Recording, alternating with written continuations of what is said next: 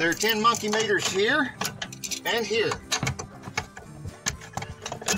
I like to take the nut, put it on the bolt, just drop that down out of the way. Now there is a, a hose here, a vent hose that needs to go into the side of the battery. Now under this cap is another 10 monkey meters. Loosen it up a little bit, and that comes right off. Lay it aside.